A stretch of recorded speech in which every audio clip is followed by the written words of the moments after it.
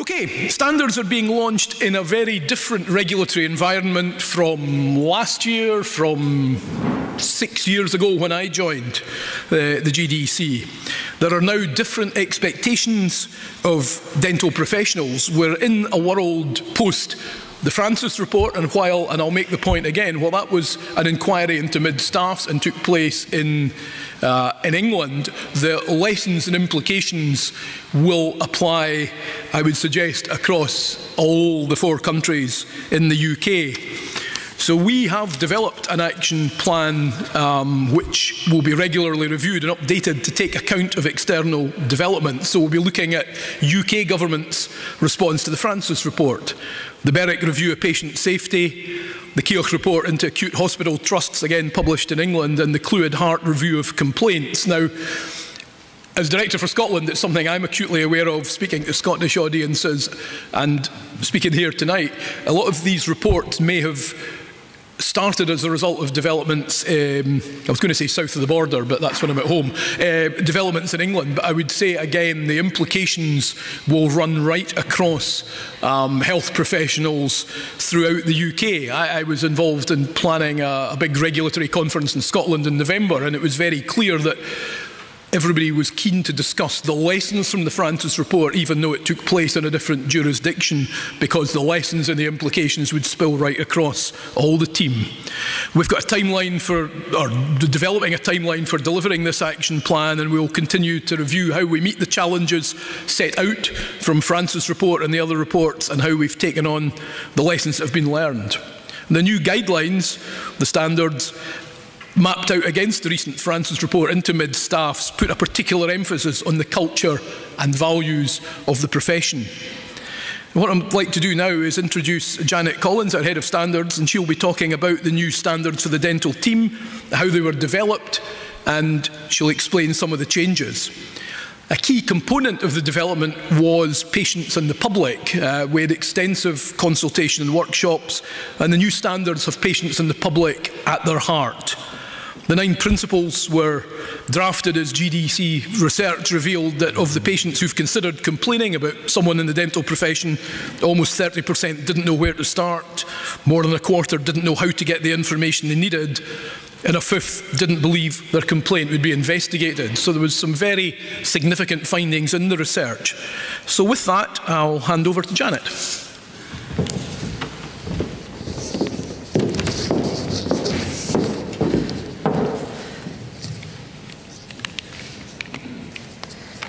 Thank you, Ian. Good evening, everyone. And I'd just like to echo um, Ian's thanks to you all for turning out after a long day at work.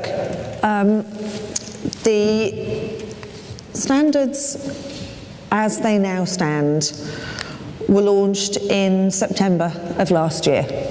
But we didn't just sort of dream them up. They were the result of a lot of research, a lot of collaboration, and an awful lot of discussion. Some of you may have been at one of the very early workshops that we did in Belfast when we asked registrants to come and tell us what they thought of the standards as they were then.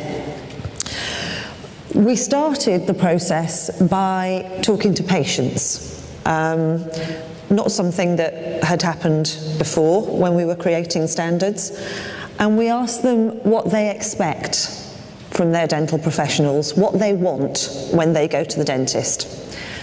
And we followed that up by talking to registrants and we asked them the same question. What do you think your patients want when they come to see you? And actually, I'm pleased to report there was a lot of agreement between the two lists. It wasn't completely the same, but there was a lot of agreement. We talked to other stakeholders, we talked to fitness to practice panelists, we talked to the defence organisations, we talked to our own staff about the queries that we receive.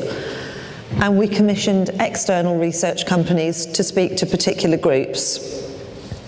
We took all that information, we tried to absorb it, we worked through it, discussed it, and drafted the new guidance. There was then quite a lengthy iterative process of toing and froing, checking with people. Uh, I think the version that actually was published was version 18, so there was there'd been a lot of toing and froing and discussion. Not surprisingly, I suppose, the research revealed that the two most important things to patients were communication and cost. And when, when talking about cost, transparency about cost was really important.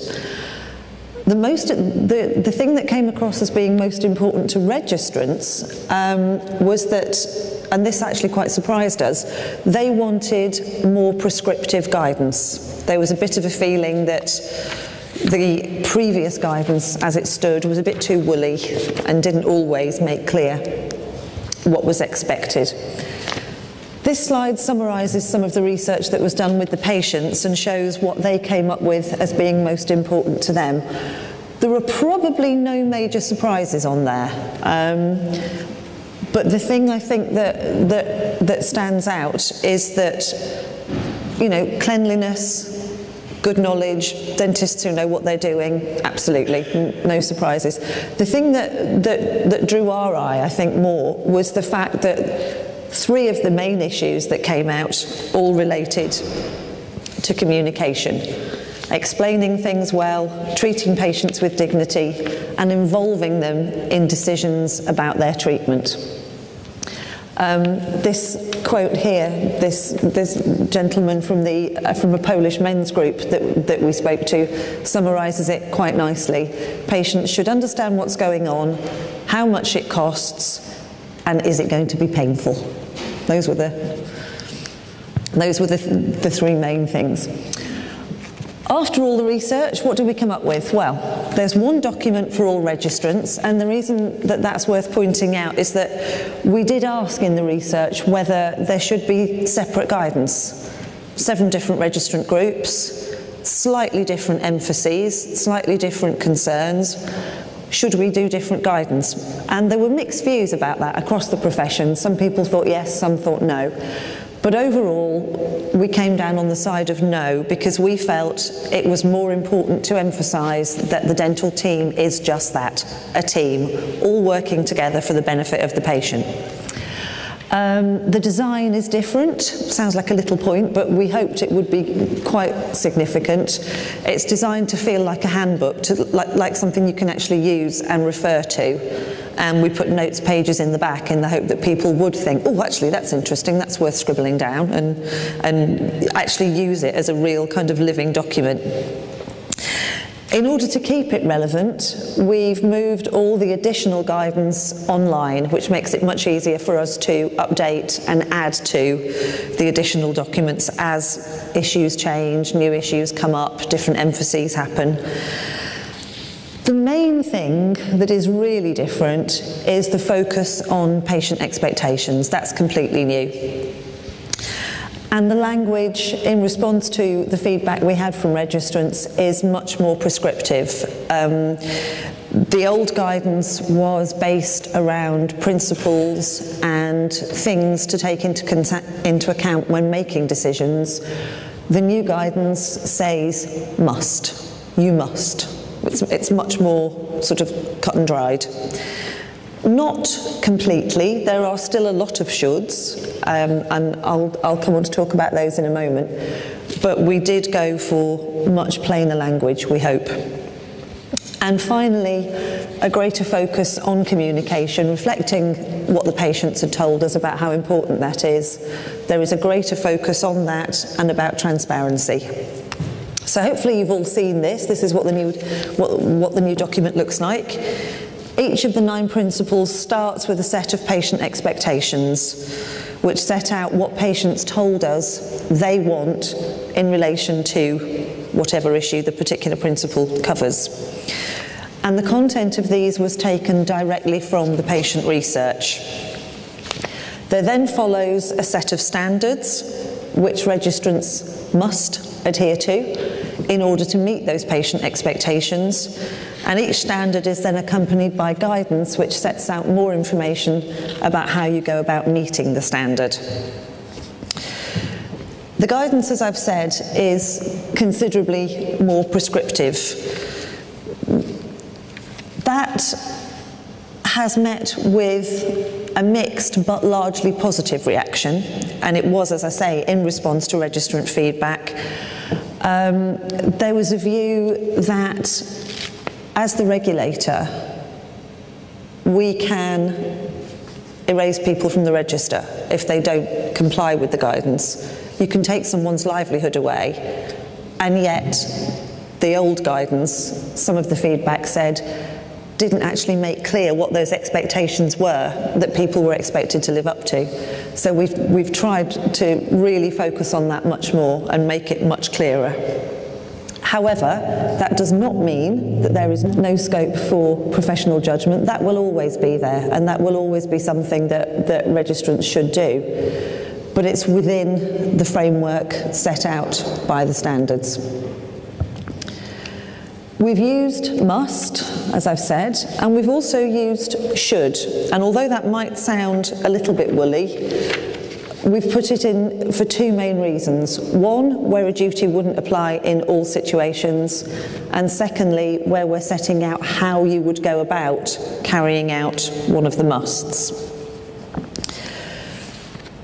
The, as I say, the reaction to that was a little bit mixed, but on the whole, the registrant focus groups that we tested it with did welcome the more prescriptive language. I particularly like that the quote there from the from the dental nurse. Must is definitely a good word to have. You see that and you pay attention. And that's what we wanted. We wanted it to be clear. Another thing that some of the feedback had said was that some registrants still perhaps didn't understand the very, very direct link between the standards, which to some registrants appeared to be what the GDC thinks I should do and fitness to practice. Um, some trainers, for example, told us that their students just didn't get the fact that, that actually it wasn't a, a nice to do. There's a very direct link between how well you do this and whether or not you stay on the register. So we've tried to make that much clearer. There are nine principles now, um, and most of them echo what was in the previous guidance. That's, it might sound a bit strange to say when I've sort of talked about all this work we did, but the fundamentals of what goes on in practice and the fundamentals of what's expected of you as registrants don't really change that much, obviously. Um, there are two new principles, communicating effectively with patients and the one about personal behaviour. Communication, I've already mentioned quite a lot, um, was all it, everything we put in there about communication was in response to patient feedback. The personal behaviour one um, is probably the most contentious. Some registrants are of the view that it is entirely inappropriate for the regulator to interest itself in what registrants do outside of work. Um, but in this day and age, particularly with the more widespread, more and more widespread use of social media, the boundaries are becoming increasingly blurred, and they're becoming increasingly blurred in patients' minds. And one thing we found was that patients don't separate out a registrant's personal and their professional life and therefore we took the decision that we were going to include that. Uh, going back to communication, yet again, I, this is a really good illustration actually of how important it is. I think this is a really positive quote from a patient. You can tell that this patient thinks really highly about her dentist my dentist is very good. He explains everything. Without even asking, he goes to great lengths to make me feel more comfortable in what he's doing and why he's doing it and what I should try to do to prevent any problems. You know, that's, I think that's a kind of a testimonial that any registrant would be happy to have. And yet, if you look at it, she doesn't mention her treatment at all. It's all about the way she and the dentist interact. Within that, we found that the thing that, that, that was on the bubble slide about patients wanting to be treated with respect and as individuals. It was clear from some of the research we did that some members of the dental team make assumptions when patients come into the surgery. We did quite a lot of research with different groups of patients with particular needs and those belonging to particular groups within the community. And that really brought this out. Um, the example that, that struck home to me, I think, the most was patients who, who attended with a carer. The majority of patients in that focus group reported that when they go to the dentist, the dentist talks to the carer. And that made the patient very, very frustrated.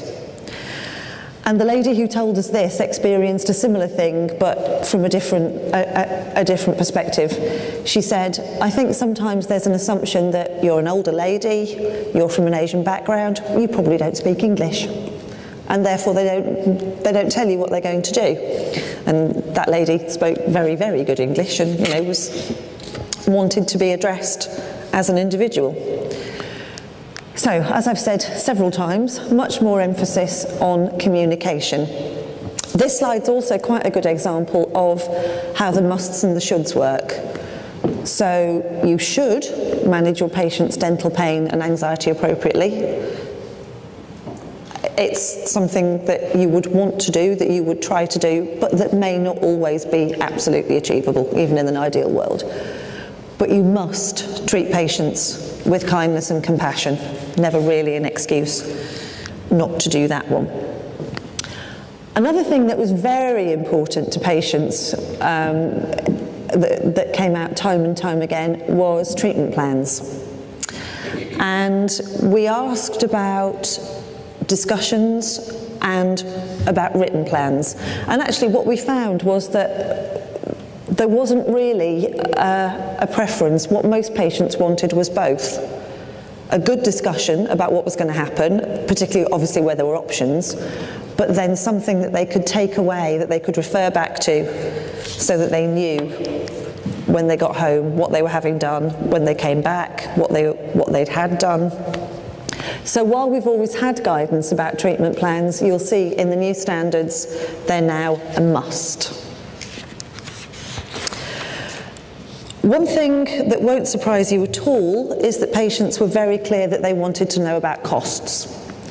Um, they, several of them made the point that it's quite hard to shop around once you're actually in the chair, so they wanted to know upfront about costs.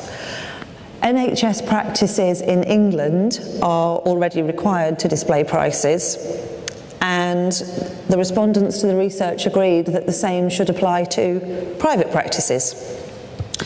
We did wonder if that would be unpopular with registrants. We even wondered if it was actually feasible, if it was practical, because obviously the list of treatments can be very, very long, and whether actually it would end up being more confusing than, than helpful. But when we asked, out of 3,000 registrants, almost 3,000, 69% believed that clear prices would improve patient confidence. Hence, you must make sure that there is a simple price list clearly displayed in your reception or waiting area. And then we go on to talk about what a simple price list means. One area where things don't really change is consent. It's fairly obvious, it's absolutely nothing new. But the reason that, that I've put this paragraph up is to illustrate the greater recognition in the new document of the part that the whole team plays in creating a positive experience for patients. So it, it, it no longer says the dentist, da da da da da it's all members of the dental team. And that's one of the ways that we've tried to reflect the changing environment in practice and the fact that we now have the seven registrant groups, not the three that we had when the previous guidance was written. We used to have a booklet on team working which sort of made it feel a bit like an optional add-on. So that's gone. It's now one of the principles. And it was clear in the patient research, again, that this is something that patients do think about and they expect all members of the team to work together to provide the best experience for them. Patients feel more confident when they know that someone is setting standards and can deal with breaches.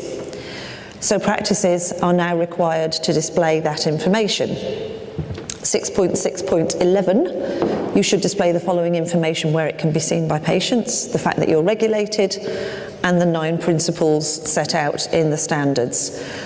How you choose to do that is up to you. There's no prescribed format. But we have produced a poster, given that we are telling you that you need to be doing it. We have produced a poster. It's available and downloadable from our website, but you've also got a copy in your packs this evening. As I say, you don't have to use it by any means, but should you wish to, you're very welcome to. Ian mentioned in his introduction um, the impact of the Francis report and the mid-staff's inquiry. And Obviously, as Ian said, that relates to England, but we know that there are inquiries coming up in Scotland which are not going to reflect well, and there's already been one in Wales. Um, I don't think any of us are immune to some of the issues that have been raised. And in the post-Francis environment, it is vital, and I really mean vital, that every healthcare professional accepts their responsibility to raise concerns. But Wimpole Street, despite what some people may think, is not an ivory tower. We do know that that is not an easy thing to do in the real world, particularly in an employed situation. It's not easy at all, and there is no point in us pretending that it is. Um, it's now a breach of the standards to accept, this is a direct response to Francis actually, it may seem a slightly strange thing to be in there, but that's why it's there. It's now a breach of the standards to accept a contract which includes a gagging clause, but it is equally a breach of the standards to offer such a contract. In order to effect real change, proper, thorough cultural change, where healthcare professionals feel that they can raise a concern safely. It's important that employers understand that they have responsibilities too. It's all very well the regulator saying every individual has a responsibility, and that is true, but it doesn't stop there. The health regulators are being called on by the overarching regulator, the Professional Standards Authority, to produce common standards on what the, what, what's referred to as candour, openness.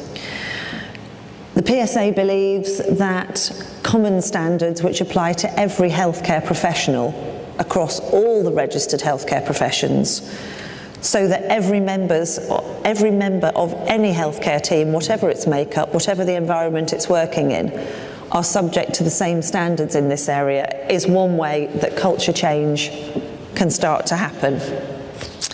Um, they have summoned, really, is the only word for it, all the regulators together to work on this, and the work on that that falls to me for my sins, and the work on that starts next week. We, and we will be obviously keeping the registrants updated as that goes along.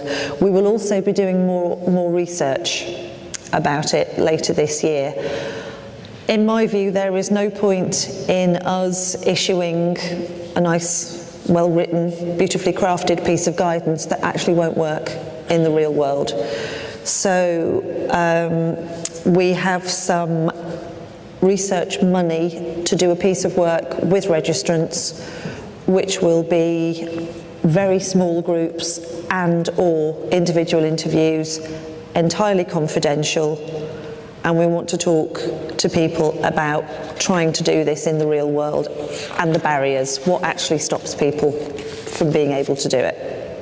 Because, as I say, there's no point us, us telling you you have to do something that is not feasible or that you don't feel safe doing. On to the more contentious one that I mentioned, personal behaviour. Uh, as I said, some registrants still don't understand that in patients' eyes there isn't really a difference between personal and professional life and that what they do outside of work can impact on how they are seen by patients in their role as healthcare professionals. And we've tried to make that clearer in the new document. Uh, we've also, on a slightly negative note, tried to make clearer because there was some confusion when registrants do or don't need to report criminal proceedings to us. The additional guidance documents that I mentioned, this is the list of the current ones which are available on the website. The first four are updated versions of guidance that we already had. The two in red, reporting criminal proceedings and using social media, on you, and I'll talk about those in a second.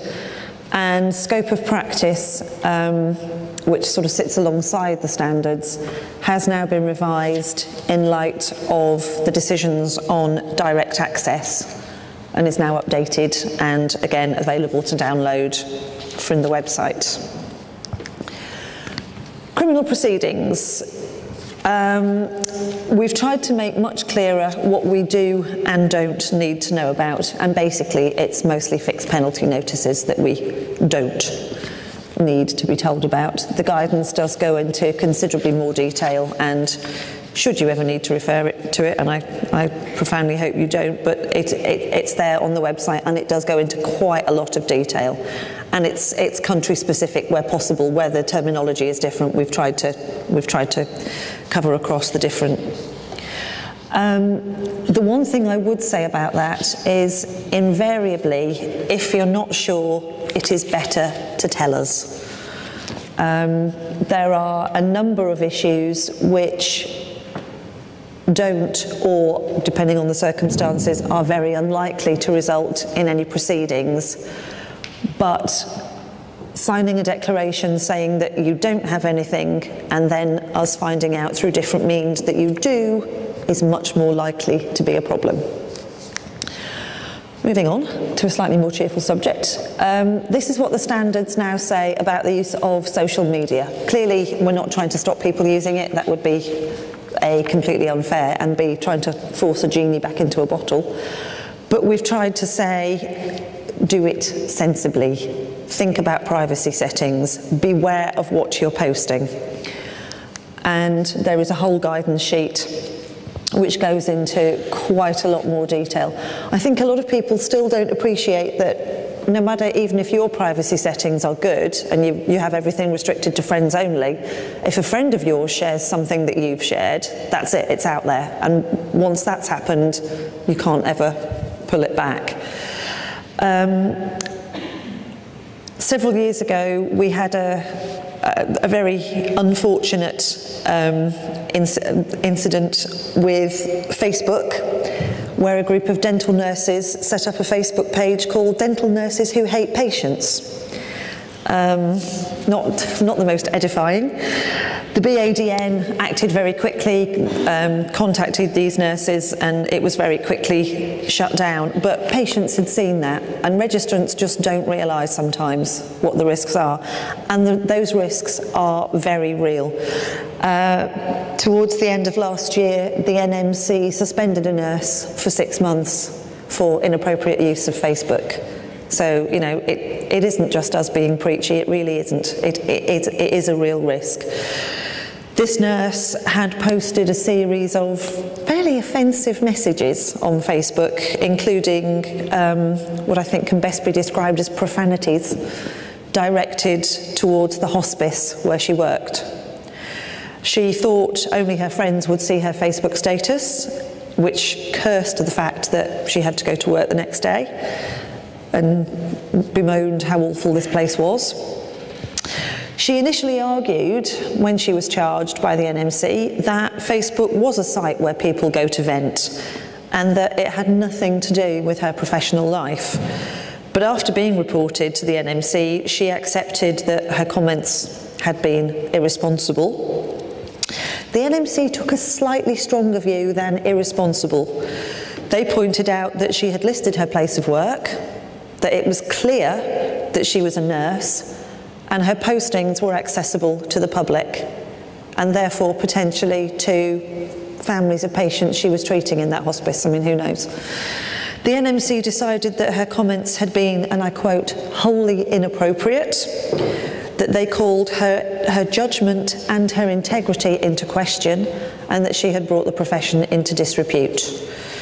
And as far as I can work out, I think from the timing, um, she is still serving her suspension. Finally, the last thing that's really changed is the website that supports the standards. Um, we have a new focus on standards section. It looks a bit like the book. It's got the nine tabs, and if you click on whichever tab, there are FAQs, there are scenarios, there are case studies designed to try and bring the standards to life a bit um, and to show how they would operate on a day-to-day basis in practice. And there are some other learning materials as well. Um, in relation to advertising, for example, there's a checklist. In relation to um, websites, there's a checklist. I think just trying to make them more usable and hopefully a little bit more easy to apply day to day. That's all from me. Thank you very much. I am going to hand you over to my colleague Miriam, who um, is going to talk to you about the fitness to practice process.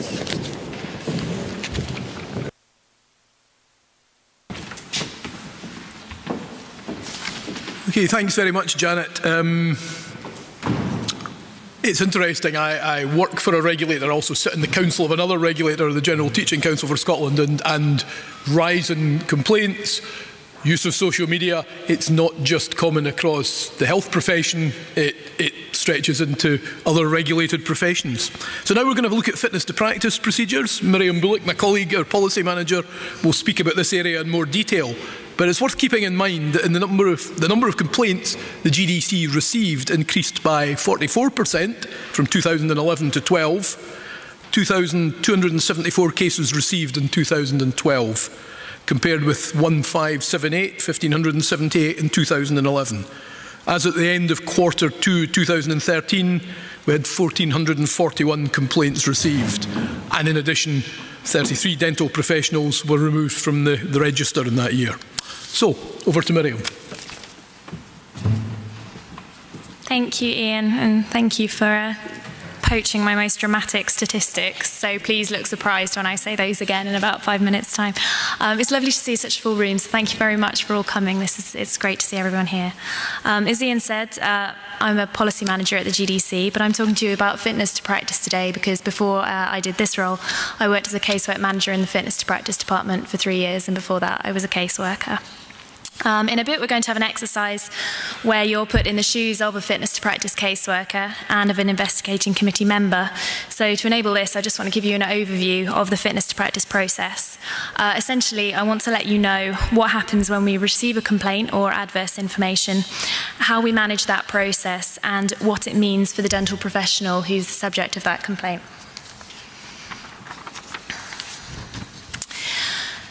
So it's probably a bit obvious to summarise the fitness to practice process as investigating complaints or information that call into question a registrant's fitness to practice, because I expect you all already knew more or less that that's what it amounts to. But I think it's worth pointing out that the FTP process is not a complaints handling service. We don't exist to provide redress or liaison. Um, and it might be worth highlighting that we are obliged to investigate any matters which we feel might pose a risk to future patients patients. And this can mean that we decide to investigate a complaint before getting the registrant's side of the story. And we simply do this because we're obliged by the statute to investigate certain matters. This tends to be when we're investigating treatment, but we also look at misconduct and we look at behaviour which we feel may call the profession into disrepute. So, what kind of complaints do we receive and what do we look into? These are all examples of the types of complaints or information that we receive. We receive complaints from patients, other dental professionals, the NHS, the Dental Complaints Service, Counter Fraud, and the police. As you might expect, a majority of our incoming cases arise from patients complaining about their dental treatment. A significant proportion of the complaints we get are not within our investigatory remit, generally because they're not serious enough for the national regulator to investigate. These are screened out at what we call the triage stage, uh, which is the initial screening of any new complaint, which is carried out by a manager within 10 days of the complaint being received by our office. And last year we closed about 40% of complaints at this early stage. If a complaint is closed at this stage, the dental professional wouldn't hear about it. If we close at this point, we don't get in touch. Sometimes we close cases with the suggestion that the patient complains to you directly, uh, and so you may hear from the patient at this point, but you wouldn't hear from us. If we decide that we do need to look further into the complaint or information, the case will be assigned to a named caseworker who will manage the investigation going forward. So when we get a complaint, a casework, casework manager might decide it's not for the GDC and they might close it. They may adjourn that decision for further fact finding, uh, or if they feel that it does warrant investigation, they'll assign, it, they'll assign it as a case to a named fitness to practice caseworker, of which we employ about 20. So, what happens next? In a majority of the caseworker, uh, cases, sorry, the caseworker will need to seek the informant's consent to proceed with an, an investigation. So, assuming this is secured, the caseworker will then notify the registrant of the investigation. So, this is the point at which you'd be advised that we've received a complaint and are looking into it. Because we're obliged by the statute to notify our registrant's employers of any investigation, we'd ask you to tell us who you're employed by. If the complaint's about treatment, we'd ask you to supply the patient's records. Um, we'll then send these to the National Clinical Assessment Service, whose clinicians provide a brief report giving their opinion on the standard of care provided. The caseworker will carry out any other necessary investigations either after this or at the same time.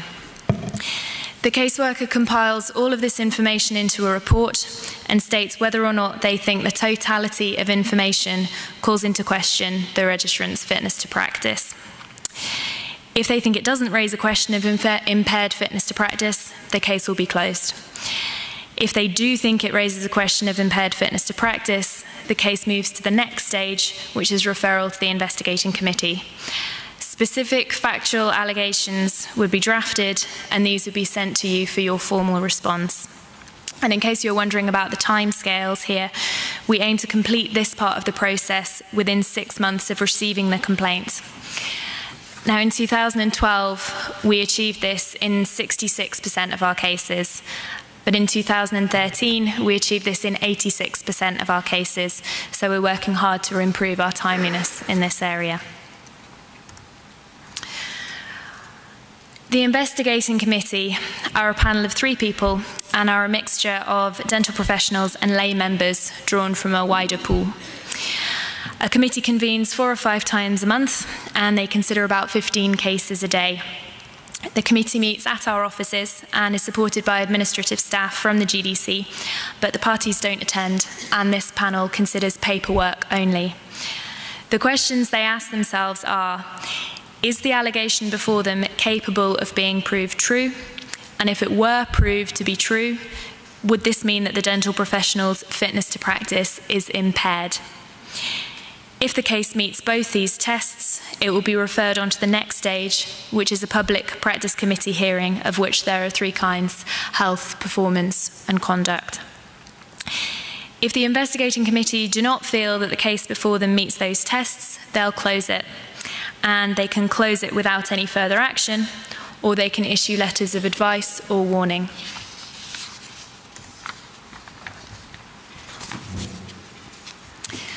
So, if the investigating committee refer the case onto a practice committee, our lawyers and yours will prepare the case for a final hearing. You'd be provided with the specific charges which would be considered by the panel and given your opportunity to respond. The practice committees hear live evidence from yourself and from relevant witnesses. Cases can be heard in a day or it can take several weeks depending on the volume of evidence. The practice committee decide whether misconduct or poor performance has in fact occurred and whether it means that the dental professional's fitness to practice is impaired. If not, the practice committee won't take any action and the case will be closed. If so, however, they can issue a reprimand, impose conditional registration, suspend registration, or erase. So that's the process overall. And thinking now about the challenges that the Fitness to Practice Department are facing. Our main challenge, as Ian mentioned, is that the number of cases we receive has increased significantly over the last few years. In 2012, we saw a 44% increase in the number of complaints received, and in 2013, we saw a 32% increase again. This increase put considerable pressure on the department as we sought to ensure that we were still taking prompt and appropriate action where necessary to protect patients and to uphold the reputation of the profession. We also recognise the need to process cases as quickly as we can for the benefit of the registrants involved. We recognise that a fitness to practice investigation is an extremely heavy burden for a professional to bear, and we want to manage the process as best we can. So, what steps have we taken to manage this increase in numbers and in work?